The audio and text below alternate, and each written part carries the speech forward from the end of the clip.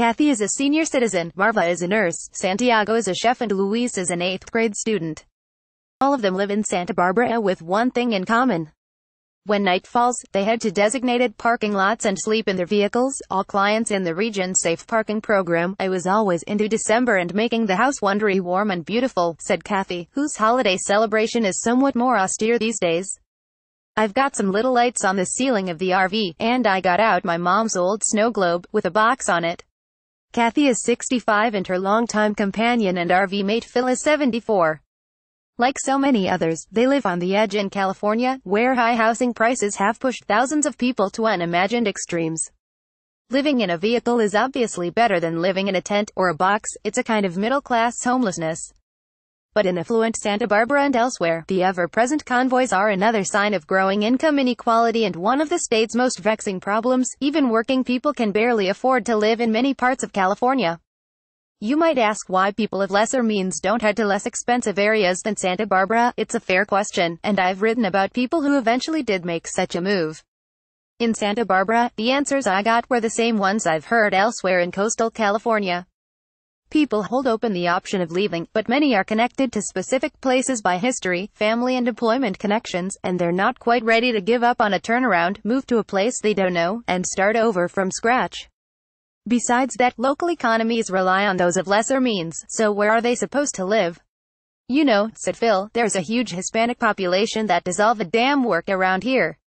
Every restaurant you go into, you can them slaving away and they're taking care of people's gardens and everything else, and they wind up with 8 or 10 people living in a one-bedroom place. Phil said people may wonder why vehicle dwellers like himself don't move in with family. Well, good for those who are able, but easier said than done, said Phil. His son is already sharing space because of the high cost of housing. Phil and Kathy described a middle-class life that fell apart for a variety of reasons, including an adjustable-rate mortgage Kathy regrets buying into. Her paralegal career sputtered and she had several back surgeries while Phil lost his photo lab business, and their ages didn't help. In 2013, they lost their condo and Phil invested in an old but serviceable RV, so they and their standard poodle would still have a roof, if not an address. My American dream was gone, and it broke my heart, said Kathy, who's living on a disability check, but that and Phil's social security income aren't enough to crack the housing market. Marva Erickson, a certified nurse assistant, is another client in the safe parking program. She wore scrubs and was on her way to work when I met her. Her troubles began with a scare about three years ago. I was working time and studying to be a nurse and I collapsed at work and ended up in the ER, not knowing what happened, she said. In California's economy, one bad break is tough to handle. Erickson had several. She suffered a series of seizures, had to quit her job, took care of her dying mother and was eventually diagnosed with a brain tumor. She fought her way back to health and to work, stayed with friends, lived in apartments that ranged from $1,000 minus $1,600 a month but lost the last one when she fell behind on the rent despite working two jobs. Her pay, she said, has been in the $12 to $14 an hour range. Erickson has been living in her Kia for three months, settling each night in a church parking lot in the neighborhood where she grew up. Christmas trees are for sale in the parking lot. I wake up and I say, thank you God for keeping me safe last night, and thank you for the safe parking program, said Erickson. She is one of 150 clients who stay overnight in the parking lots of churches, nonprofits and government offices in a 12-year-old program run by New Beginnings Counseling Center. The clients can park after 7 p.m., but have to clear out as early as 6 a.m. The benefit is that the vehicles are no longer parked on city streets, which riles some residents and merchants. And because the lots are monitored by New Beginnings, the clients, who all go through a screening process, can at least feel safe while they sleep. Santiago Geronimo works in the kitchen of a high-end Santa Barbara restaurant and until recently, he, his girlfriend and her son Luis lived in a two-bedroom apartment shared by four adults and three kids.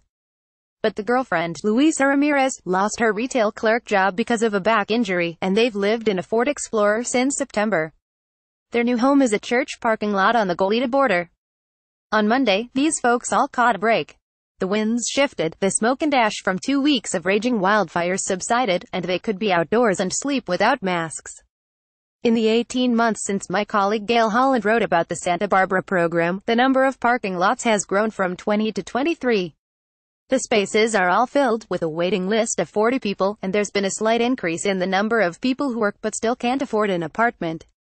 Cassie Roach, the program coordinator, said 40% of the clients are employed, 35% are seniors and 30% are disabled. Six families live in vehicles with at least one minor, and only 25% of the clients have RVs, so the others are sleeping in smaller quarters. In downtown Santa Barbara on Monday night, two white-haired men prepared for another night of slumber in the back of their station wagon, one of the men already stretched out in the cramped space. Los Angeles, by the way, has a far greater and increasing number of people living in vehicles, more than 8,000 by the latest estimate.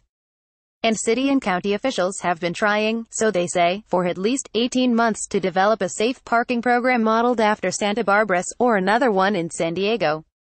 So what's the problem? There's one so-called demonstration program running in South LA, with a capacity of 15 vehicles, and a smaller operation is in place at a West Side temple.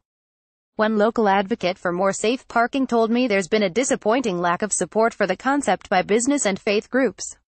NLA Homeless Services Authority official confirmed that, telling me faith organizations have been worried about liability and vandalism.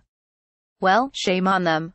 If Santa Barbara can handle the challenges and deliver an important service at a low cost, the budget is $400,000 a year, why can't leaders of the homeless capital of the nation show a greater sense of urgency? Even if business and faith leaders choose to behave like Grinches, Los Angeles officials have identified dozens of unused and underutilized city-owned properties. If council members and Mayor Eric Garcetti can't turn at least some of those into safe parking lots for the growing homeless convoy, they're not trying hard enough. In Santa Barbara, the benefits go well beyond having a safe place to park for the night. The clients are linked to services, and 40 of them have moved out of vehicles and into apartments in the last year. But like elsewhere along California's coast, there just isn't enough affordable housing to meet the demand, said New Beginnings Executive Director Kristine Schwartz. Even for those with jobs essential to the local economy, I can barely afford to live here, said Schwartz. Rents have gone up significantly and wages haven't, and I don't see that changing anytime soon.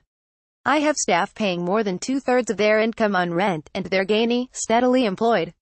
And they don't even have their own places. Phil and Kathy asked me not to use their last names, at least partly because they already feel targeted and looked down upon for living in a vehicle. They're lumped in with drug addicts or derelicts, they said. Surely there are such folks living in vehicles around the state, but Phil and Kathy have tried to hold on to a sense of pride, purpose and community involvement. Both have served as volunteers at local arts events. On Monday night, after ushering at a theater, Phil drove to a water station to fill the RV tanks before proceeding to his designated parking lot for the night. Across town to the north, at about 10 p.m., Luisa Ramirez and Santiago Geronimo began laying down the bedding and unpacking blankets for another night in the back of their Ford Explorer. It's been difficult, said 13-year-old Luis, who told me he's getting all A's and B's at school, and math is his favorite subject. It gets really cold in the truck, he said, shivering. But the way he looks at it, this is temporary, and sometime after the holidays, they'll be back indoors. Caption caption caption caption caption Get more of Steve Lopez's work and follow him on Twitter at LATstevelopez.